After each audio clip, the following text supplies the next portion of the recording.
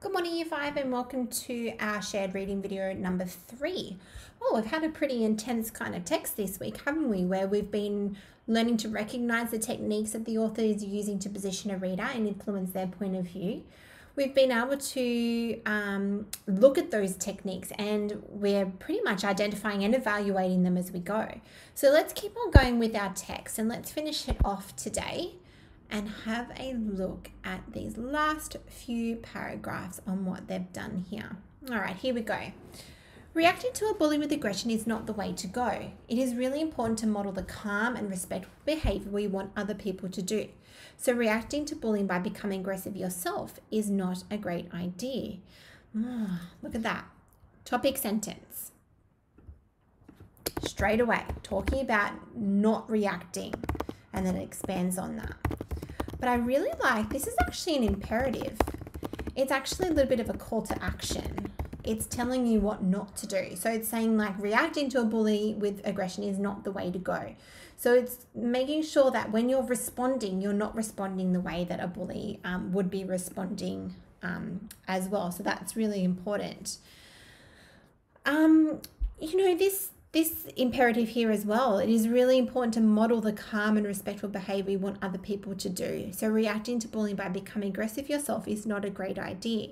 So, it's kind of repeating the first sentence, but like in a different way. So, it's, you know, just adding to that topic sentence reacting to a bully with aggression is not the way to go. This is what you need to do.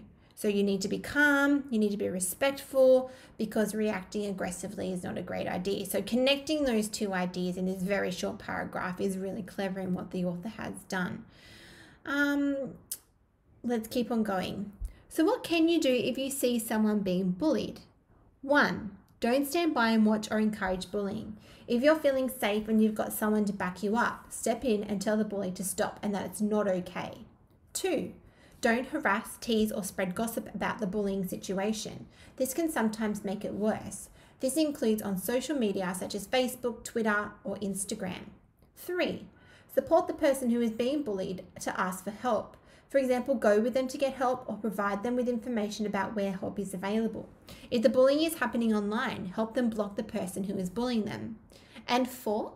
Report the bullying to a parent or other adult you trust, such as a teacher or a school counsellor. All right, let's have a look. Here we go.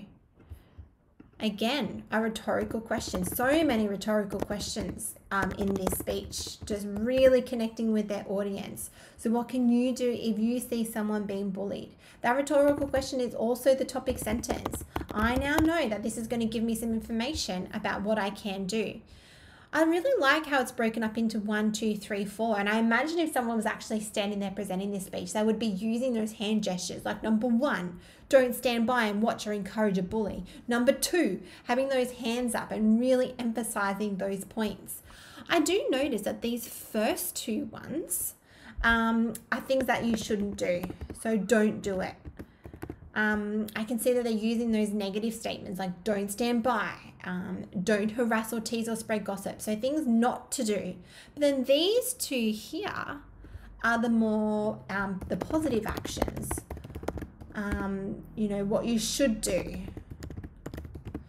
So I really like how they've got two things: don't do this, but making sure that they're connecting making it positive as well, and saying, well, but you can do this. And I think that's really important within that speech that they're doing there as well. Last sentence, here we go bullying. Are you going to be part of the problem or part of the solution? It's up to you. Oh, what a powerful ending. Look at this use of an ellipsis.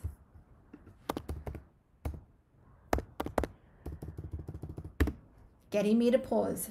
The, the topic we're talking about is bullying. So it's like that bullying. And then we get that, that call to action, that imperative using those personal pronouns. Are you going to be part of the problem or part of the solution? It's up to you. So that exclamation, that statement, it's up to you, those personal pronouns. What I like best though is that this this conclusion connects straight up to there. So they've actually linked their um, their heading or the beginning of their speech to the end of their speech. So they've given us all of that thinking in between, told us what bullying is, given us some facts about bullying, given us what we can do as bystanders, um, what we can do we see a friend doing bullying, how we can react to bullying, what what we do if someone is being bullied. But then at the part, it's kind of putting it back to you. So what are you going to do? Are you going to allow the bullying to happen or are you going to use all of these and are you going to help solve the problem? I love that. Connecting that back to the question is really, really important. So, as you can see, this text is using so many techniques, so, so many techniques to position me as the reader. And it's also influencing my point of view. So, that's so important when giving a spoken text because that's what your purpose is.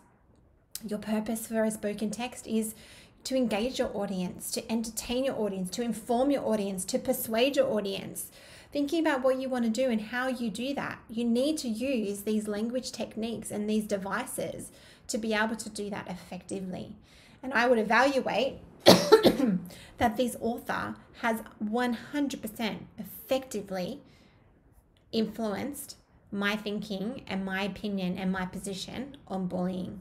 And they've done that by using all of those techniques and strategies.